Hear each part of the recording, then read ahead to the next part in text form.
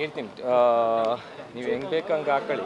Totally ಹೇಳ್ಬಿಡ್ತೀನಿ ನಾನು. ಯಾಕೆಂದರೆ ನಾನು ಫಸ್ಟ್ ತಿಂಗು ಮೀಡಿಯಾಗೆ ಯಾವತ್ತೂ ಬಂದಿಲ್ಲ. ಪ್ರಚಾರಕ್ಕೆ ಬರೋದೇ ಇಲ್ಲ ನಾನು. ಸೊ ಕೆಲವರೆಲ್ಲ ಹೇಳಿದ್ರು. ಸೊ ನಾನು ಫಸ್ಟ್ ಥಿಂಗ್ ನಂದು ಹೋಟೆಲ್ ಇಂಡಸ್ಟ್ರಿ ಆಮೇಲೆ ಸಿನಿಮಾ ಈ ಕೋವಿಡ್ ಟೈಮಲ್ಲಿ ಈ ಹೋಟ್ಲುಗಳೆಲ್ಲ ಮುಚ್ಚೋಗಿ ನಾವೇ ನಮ್ಮದೇ ಆದಂಥ ಕಷ್ಟದಲ್ಲಿದ್ದೀವಿ.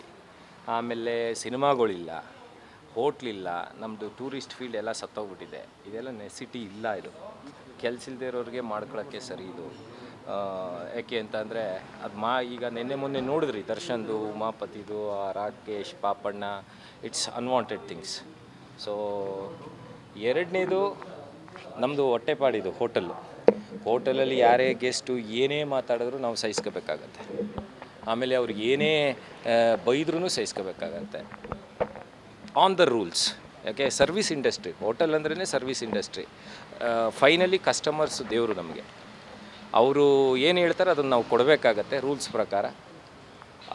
ಇದನ್ನು ನೆಸಿಟಿ ಇರುತ್ತೆ. ಇದು ಇವಾಗ ನಿನ್ನೆಯಿಂದ ಸುಮಾರು ಜನ ಪ್ರೆಸ್ ಅವರು ನನಗೆ ಫೋನ್ ಮಾಡ್ತಾನೆ ಇದ್ರು. ಯಾಕೆ ನಿಮ್ಮ ಹೋಟ್ಲಲ್ಲಿ ಪ್ರೆಸ್ ಮಾಡಲಿಲ್ಲ? ಯಾಕೆ ನಿಮಗೂ ಅವ್ರಿಗೂ ಆಗಲ್ಲ ಅಂತಲ್ಲ. ಅದು ಖಂಡಿತವಾಗ್ಲೂ ಇಲ್ಲ.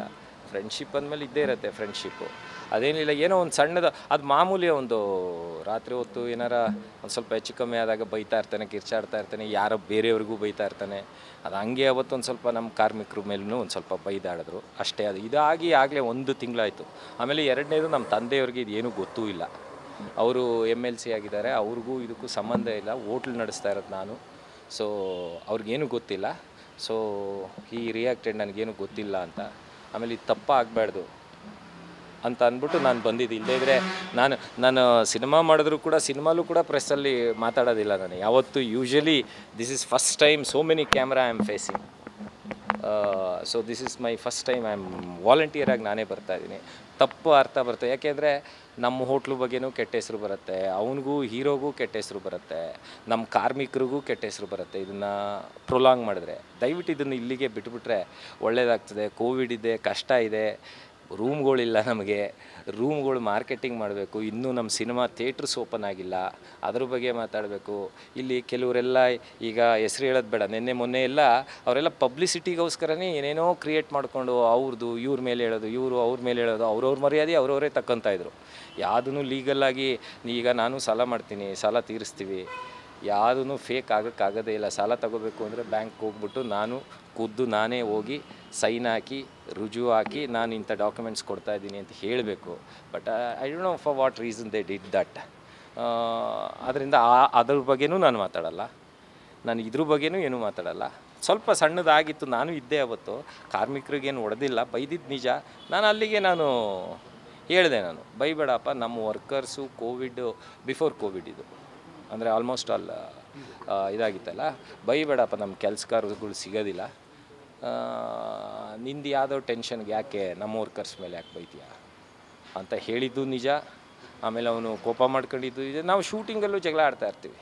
ಅದರಲ್ಲಿ ನಂದು ಒಂದು ಫ್ರೆಂಡ್ಶಿಪ್ಪಲ್ಲಿ ಅವ್ನು ತಪ್ಪು ಮಾಡಿದ್ರೆ ನಾನು ಹೇಳ್ತೀನಿ.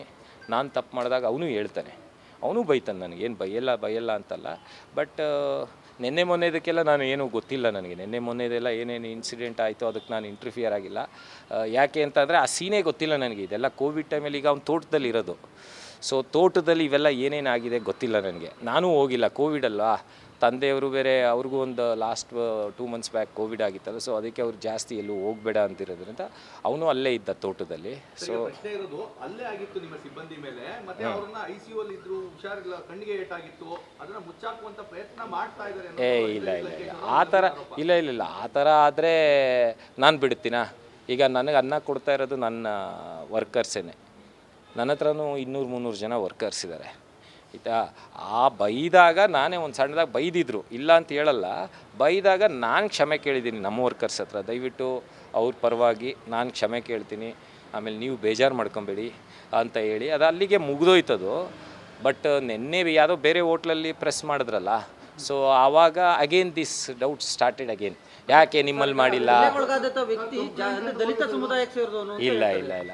ನನಗೆ first thing sir first thing ನಾನು ನಾವು ಇಂಟ್ರೂಲಿ ಬರೀ ಅವ್ರ ಪರ್ಫಾರ್ಮೆನ್ಸ್ ಕೇಳ್ತೀವಿ, ಅವ್ರ ಎಕ್ಸ್ಪೀರಿಯನ್ಸ್ ಕೇಳ್ತೀವಿ ಎಲ್ಲಿ ಮಾಡಿದ್ದಾರೆ ಅಂತ ಲ್ಯಾಂಗ್ವೇಜಸ್ ಎಷ್ಟು ಲ್ಯಾಂಗ್ವೇಜ್ ಗೊತ್ತು ಅಂತ ಕೇಳ್ತೀವಿ ಕಂಪ್ಯೂಟ್ರ್ ನಾಲೇಜ್ ಇದೆಯಾ ಅಂತ ಕೇಳ್ತೀವಿ, ಜಾತಿ ಬಗ್ಗೆ ನಾವು ಕೇಳೋದೇ ಇಲ್ಲ.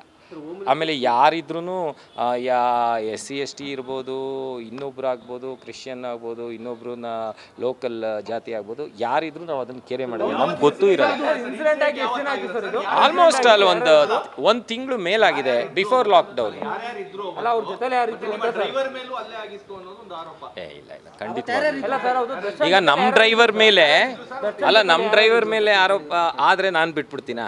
ಈಗ ನನ್ನ ಹೊಟ್ಟೆ ಪಾಡ ನಾನು ಬಿಡೋಕ್ಕಾಗತ್ತಾ? ಇಲ್ಲ ಅದು ಹಂಗೆಲ್ಲ ಇಲ್ಲ. ಕಂಪ್ಲೇಂಟೇ ಕೊಟ್ಬಿಡ್ತಾ ಇದೆ ಈ ಥರ. ಹಾಂ